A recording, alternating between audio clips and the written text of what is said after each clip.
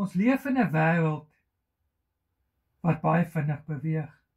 Ons in ons eie lewe pak ons baie projekte aan en doen dinge wat vinnig aandag moet hê en sodat ons kan aanbeweeg na die volgende ding toe of ons moet gou connect met mense sodat ons nie ons tyd mors vir die volgende projek, die volgende ding wat ons moet doen of so nie.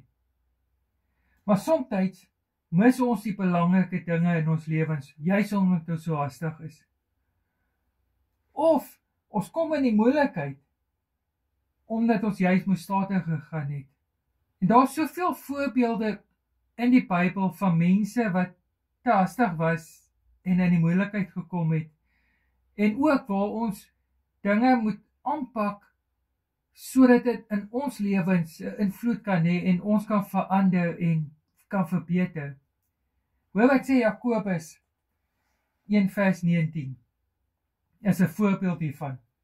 My geliefde broers en susters, wees altyd gou om te luister. Nie te gou om te praat nie en nie te gou om kwaad te word nie.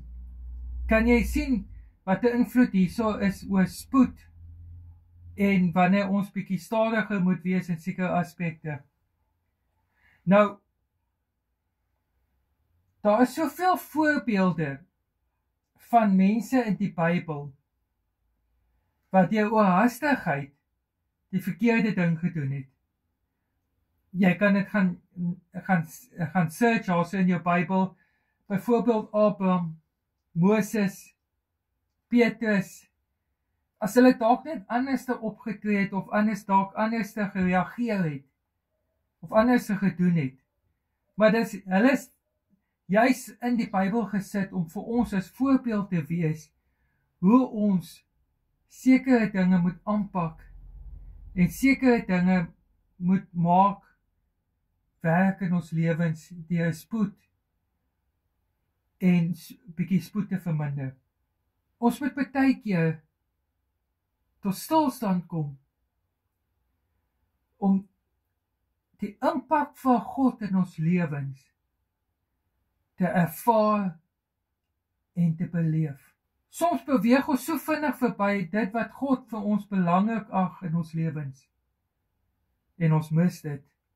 Jy weet, soms moet ons die kitskos los en die brood van die lewe geniet. Soms is dit juist die kitskos wat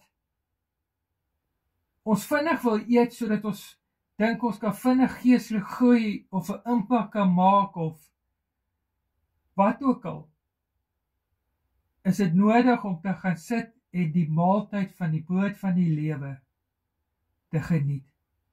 En dit beteken ons moet Jesus in ons lewens